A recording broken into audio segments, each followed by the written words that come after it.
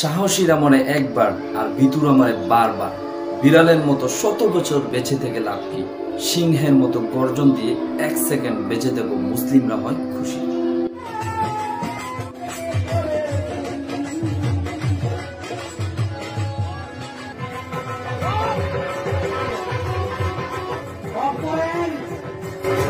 আসসালামু আলাইকুম রহমতুল্লাহি প্রিয় দর্শক, শ্রোতা, কেমন আছেন সবাই? আশা করি অনেক অনেক ভালো আছেন। প্রিয় দর্শক শ্রোতা, আজকে আমি আপনাদের সাথে একজন সুপার হিরোকে পরিচয় করিয়ে দেব। একজন রিয়েল সুপার হিরো হিরো শব্দটি শুনলেই আমাদের কল্পনায় ভাসতে থাকে, সুটাম দেহের অধিকারী কোনো যুবক স্টাইলিশ দাড়ি, বিভিন্ন ফ্যাশনে ভরপুর পোশাক আশাকে আবৃত এক, সুটাম দেহের অধিকারী এক যুবক, সুদর্শন এক যুবক। অথচ রিয়েল হিরোরা সম্পূর্ণ ভিন্ন। রিয়েল হিরোরা অন্যায়ের প্রতিবাদ করে। তাদের সমস্ত সাহসটুকু জোর করে অন্যায়ের বিরুদ্ধে রুখে দাঁড়ায় এবং ন্যায়ের পক্ষে লড়াই করে। আসসালামু আলাইকুম আপনারা ভালো আছেন?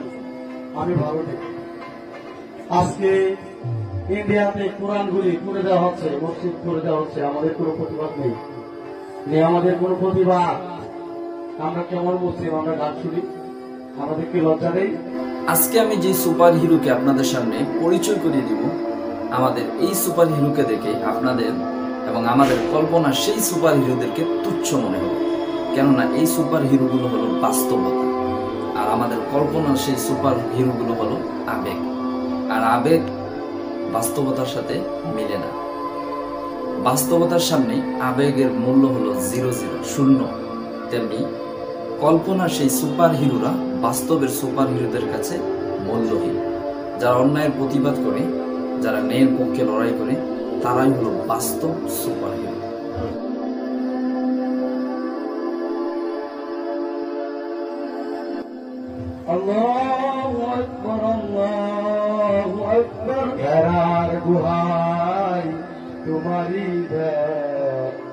আসমান থেকে নামে আল কোরআন। সমান ভুল তোমারই পরে আসলো কোরআনের তলে। রক্ত দিতে হবে, আমরা রক্ত দেবো।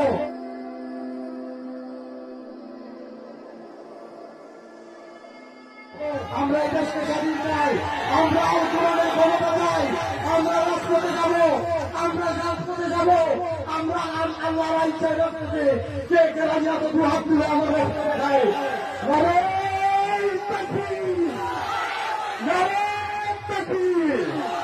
আজ থেকে আর গান নয় আমরা এদেশে হিন্দু নাই সবাইকে ভালো রাখব এদেশের হিন্দু তো আমরা যদি চরিত্র ভালো থাকতো তারা মুসলিম হয়ে যেত এটা আমরা যে চরিত্র ভালো নেই আমরা নিজেরা খারাপ হয়ে গেছি আপনাদের কি চলতে পারে না এই তো কথা আছে আমার দশ মিনিট পর আপনারা সবাই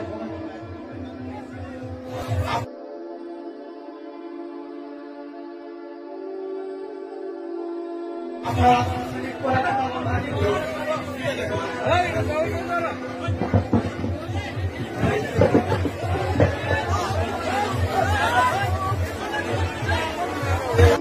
প্রতিবাদ করা শুধু এই যুবকের কাজ নয় অন্যায়ের প্রতিবাদ আমাদের সকলের জন্য।